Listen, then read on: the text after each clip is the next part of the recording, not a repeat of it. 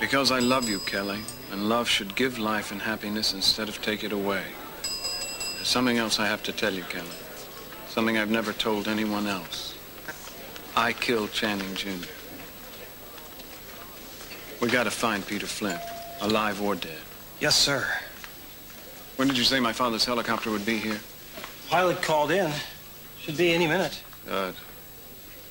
I guess this about settles it. Just wish I had a deeper sense of satisfaction about